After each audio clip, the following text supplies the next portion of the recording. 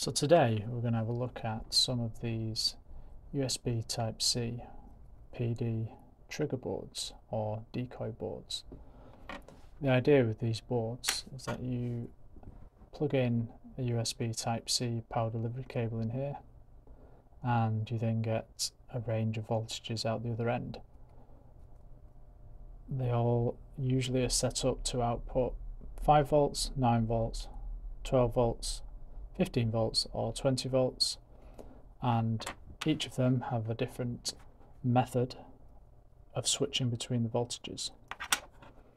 So in this case there's a button to go through the voltages, set of LEDs down the side which indicate the voltage that you have selected and a variety of options on the back in terms of if you are to solder over certain points you can permanently have the uh, module at that voltage.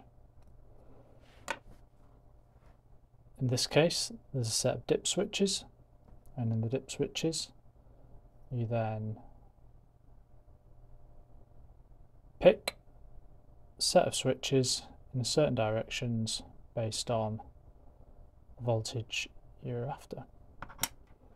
And then there's the most simple version of the three I've got here where what you do is you select the voltage and in this case we've only got 9, 12, 15 and 20 you select the voltage by soldering one of these points to the neighbouring resistor and in which case that gives you the selection and then it's permanent at that point. So to quickly test some of these let's have a look. So this is plugged into a Type-C power delivery adapter should be capable of 100 watts but I've not got a 100 watt device to really test it on at the moment but we'll just see the concept of how it works. So you plug it in and there you go. Showing the outputs 5 volts 9 volts 12 volts 15 volts 20 volts.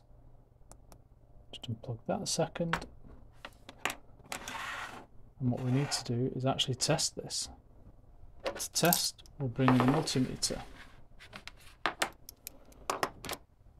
Just add some cables here to make it easier to attach the multimeter.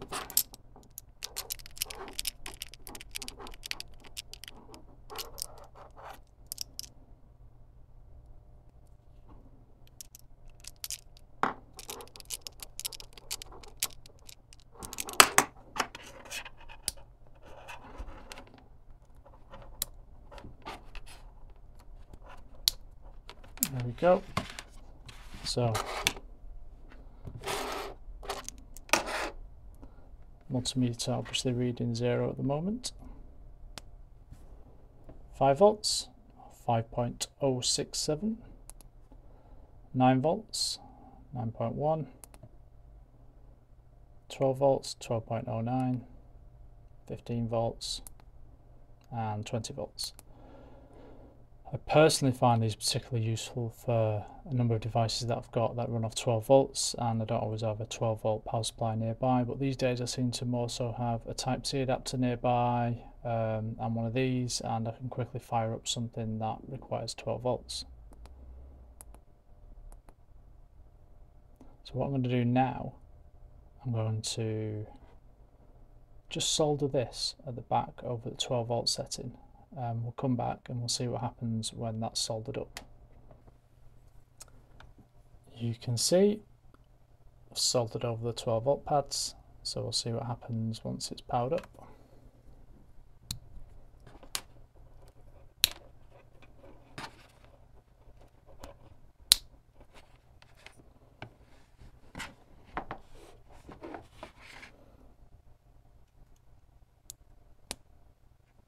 Straight to 12 volts. No messing, permanently set to 12 volts. If I press the button, it will not go to any other setting. So in which case, no matter when I use this, it will always be 12 volts.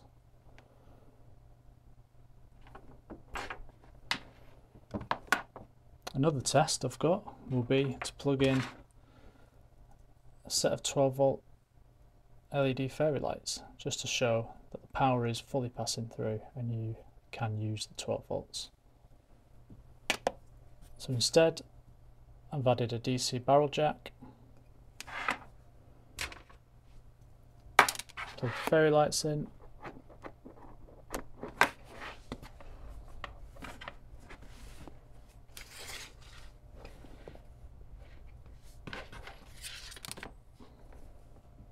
then plug the type C adapter in. And there we go.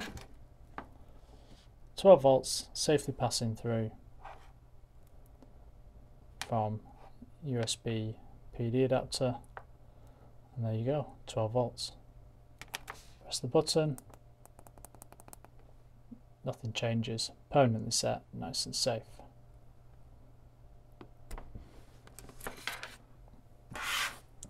Next we'll have a look at this version.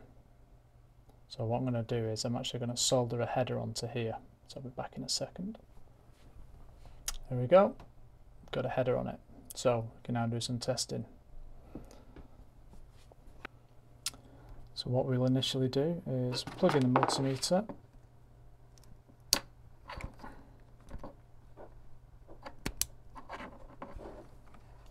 And then we will plug in the PD cable and see what voltage we've got it set as. So initially it's there set as 5 volts. So, so the next test will be to change the dip switches. Let's have a look at how to do that. Looks like there's a bit of Kapton tape on top of here to keep them secure. This might be difficult to get off. There we go removed it there.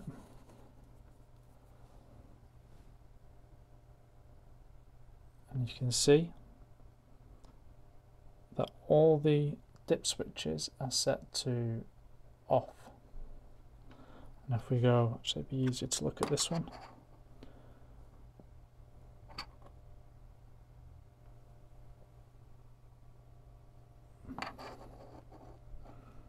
If you look at the back, there isn't actually a setting for that, so it must just default to 5 volts when everything is off. So let's try the actual 5 volt setting, which is 1 and 2 on and 3 off.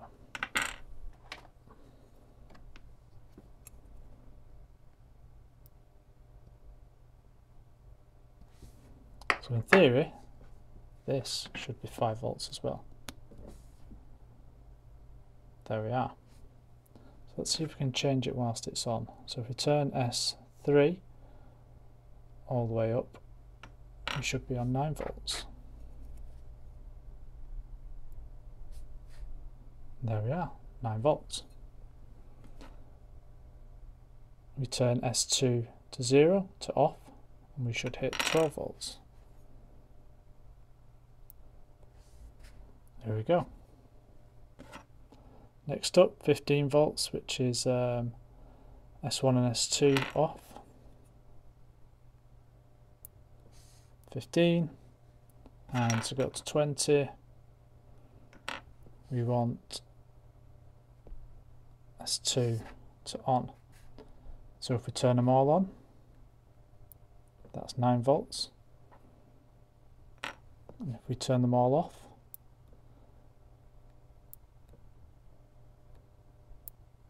goes to 5 volts. So there's two 5 volt settings. With them all on,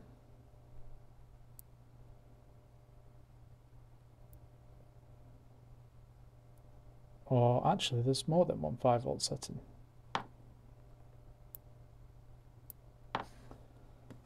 So it looks like there's a number of 5 volt settings.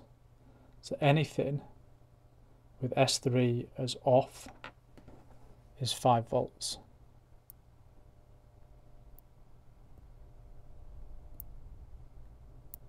Be it with whatever combination of S1 and 2. I guess that's a safety mechanism because it's the lowest voltage and it's the least likely to cause any damage. So let's set it to 12 volts.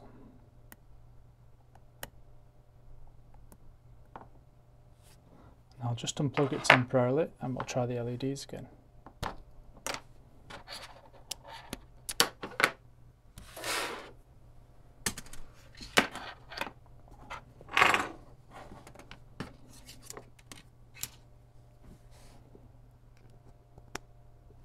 Go. LED's lit, 12 volt working fine.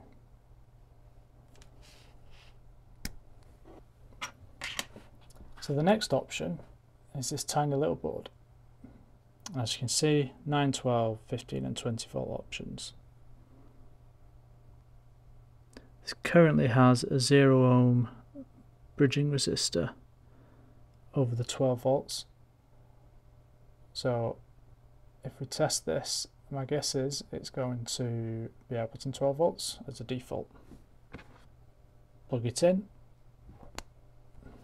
Blue LED indicator there, so you can be aware of whether it's on or off. If we come in with a multimeter,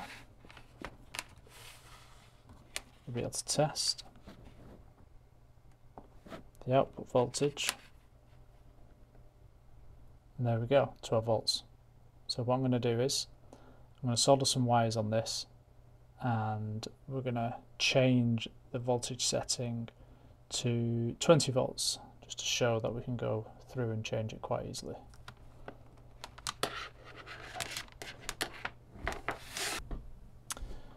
Might be difficult to see, but we've now bridged at the 20 volt point. So we'll try this one out.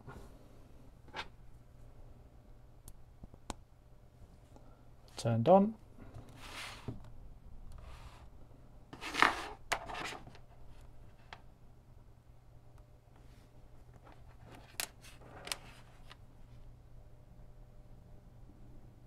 There we go, outputting 20 volts.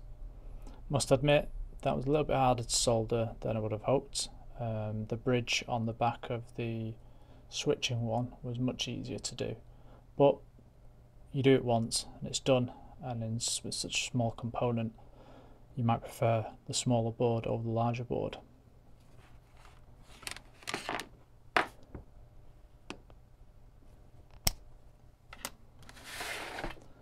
I'll do a similar test now with this and I'll add the LEDs whilst it's set on 12 volts so you can see that it does in fact output 12 volts and the LEDs work fine.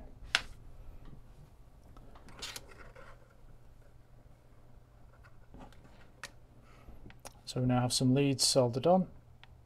This is the default setting of 12 volts, which is again what I'm looking for.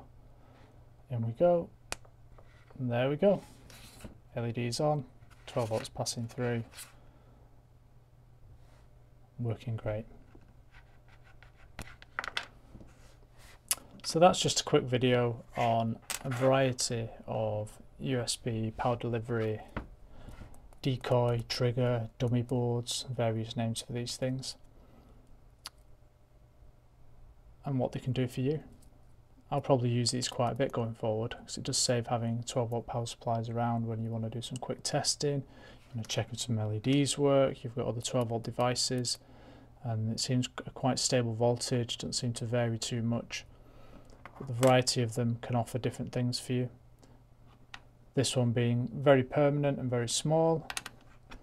This one being a set of dip switches that you can change if you need to, but sometimes switches can be a bit dangerous. You know, they're very small, but at the same time they could get flicked.